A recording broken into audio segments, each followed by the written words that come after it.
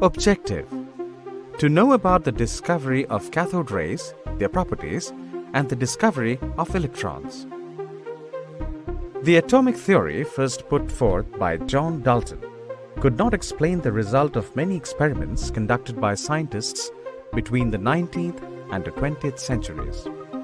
For instance, it could not explain the electrical nature of matter explained by Michael Faraday through his experiment in 1830.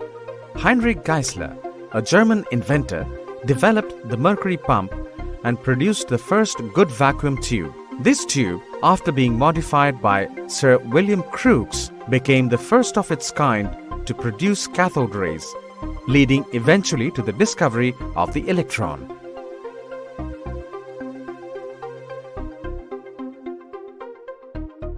William Crookes discovered cathode rays while studying the phenomenon of electrical discharge in gases, and J. J. Thomson discovered that cathode rays consist of negatively charged particles called electrons. Let us now take a closer look at the sequence of events that led to the discovery of electrons. Cathode rays were produced in a discharge tube.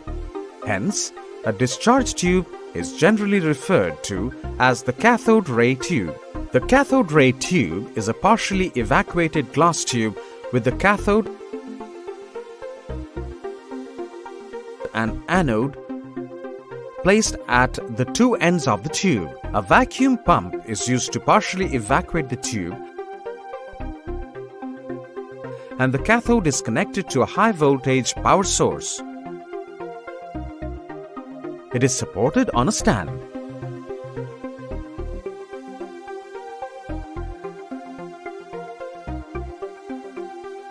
In this setup, Crookes observed that an electrical discharge through the gas took place only when the pressure within the tube was lowered to 0.001 mm of the mercury and the potential difference between the electrodes was as high as 10,000 volts. This is when current starts flowing inside the tube.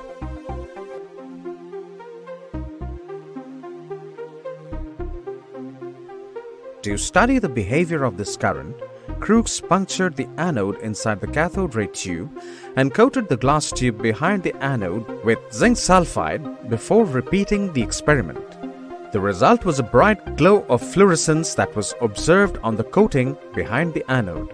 The bright fluorescence resulted due to the striking of the rays emitted by the cathode.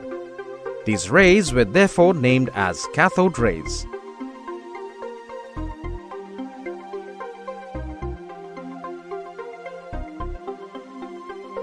J. J. Thomson in 1897 studied the properties of these cathode rays through a series of experiments. He observed that when an opaque object is placed in the path of cathode rays, a sharp shadow was formed. This led to conclude that cathode rays travel in a straight line.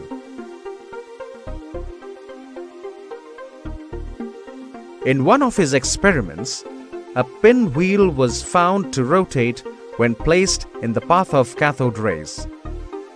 This helped him to conclude that cathode rays are made of particles that produced mechanical motion.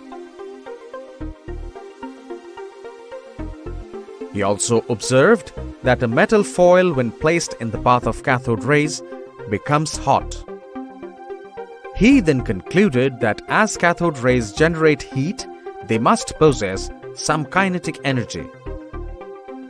When cathode rays were allowed to pass through a metal foil, a glow was seen behind the metal. This indicated that cathode rays had the power to penetrate.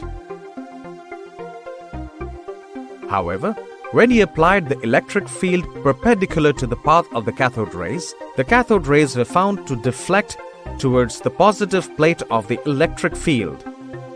He observed the same result when a magnetic field was applied. As opposite charges attract and the cathode rays were found to deflect towards the anode, he concluded that cathode rays consist of negatively charged particles. He called these negatively charged particles as electrons. When cathode rays were allowed to pass through different gases, glows of different colors were observed in the tube. These different colors were seen due to the ionization of gases. This confirmed that cathode rays could ionize the gases.